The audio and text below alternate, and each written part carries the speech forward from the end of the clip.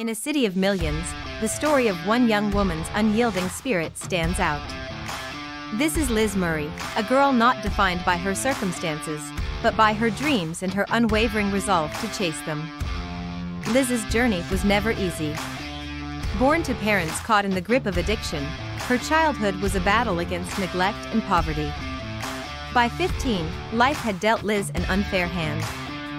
Homeless, fending for herself in a relentless city, her future seemed as bleak as the cold streets she called home. Yet, it was in the depths of despair that a spark ignited within Liz. A chance encounter, a conversation with a stranger who saw the potential she held, and Liz dared to dream. With fierce determination, Liz began to rewrite her story. Night and day, she studied, worked, and survived, fueled by the promise of a life she knew she deserved but had never been given. As if lifted from the pages of a novel, the homeless girl from the Bronx did the unimaginable. Liz Murray was going to Harvard. From sleeping on the subway to striding through the halls of Harvard, Liz's journey is a testament to the power of hope and the human spirit.